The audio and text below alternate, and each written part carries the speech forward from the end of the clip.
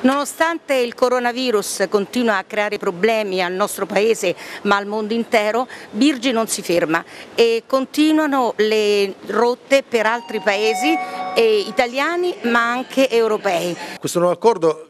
integra il panel delle rotte su, su Trapani. Lumi Wings è una compagnia che abbiamo incontrato eh, tempo fa, eh, durante, prima del, del, lockdown, poi c'è stata una lunghissima trattativa, poi un'interruzione per effetti del, del, lockdown. Ora che stiamo vedendo un po' di eh, luce alla fine del tunnel, eh, hanno programmato le rotte per eh, la Grecia e per Forlì con il rilancio su, eh, sulla Romania. Devo dire, dicevano loro stessi, che ci sono già buoni riscontri per eh, persone che dalla Romania si vogliono sposta, spostano, vogliono volare su Trapani Birgi, credo che le rotte sulla Grecia siano le rotte vincenti, eh, non ce ne sono eh, molte dalla, dall'intera Sicilia, noi ne abbiamo tre per tre destinazioni importanti e quindi voglio dire eh, sono estremamente contento per questo. Altre compagnie che abbiamo sentito in questi giorni stanno predisponendo il nuovo piano voli, pertanto ampliando l'offerta da Trapani, intensificando l'offerta da Trapani.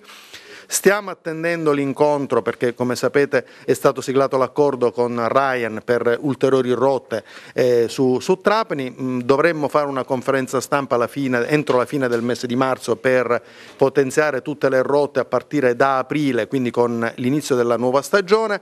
E quindi insomma eh, riteniamo ehm, eh, credibile eh, che da Trapani nel più breve tempo possibile, cioè per la prossima stagione Summer ci possono essere eh, circa 30 rotte che opereranno sul nostro territorio per portare l'aeroporto di nuovo a numeri intorno al milione di passeggeri entro la fine di quest'anno e riportare a regime l'aeroporto nel partire dal 2022. Tutte queste evidentemente al netto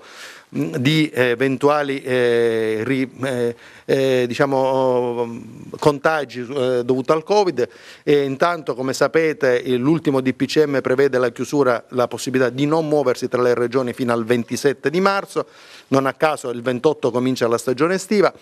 Mi auguro che eh, il piano vaccini, le azioni che sta facendo il governo eh, possano portare una riduzione drastica e quindi portarci da zona gialla a zona bianca in modo tale che può partire una stagione quantomeno in sicurezza. Questo è quello che ci eh, auspichiamo per, per, il territorio, per la provincia, per l'economia di questo territorio. Eh, noi stiamo lavorando, non ci siamo fermati, tutto lo staff sta andando avanti e mi pare questi sono i riscontri che stiamo avendo. Evidentemente non si può forzare le compagnie oltremodo,